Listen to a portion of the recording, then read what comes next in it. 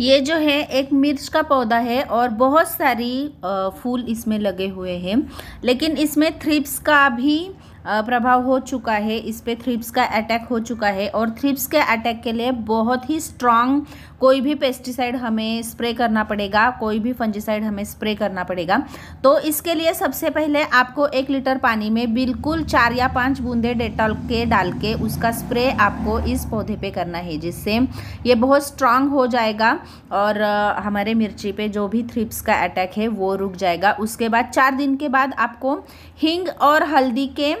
बिल्कुल आधे से भी छोटा सा चम्मच लेना है और उसको पानी में भिगो के फिर उस पानी का स्प्रे आपको इस पौधे पे कर देना है जिससे थ्रिप्स का अटैक इससे जाएगा और पौधा स्वस्थ हो जाएगा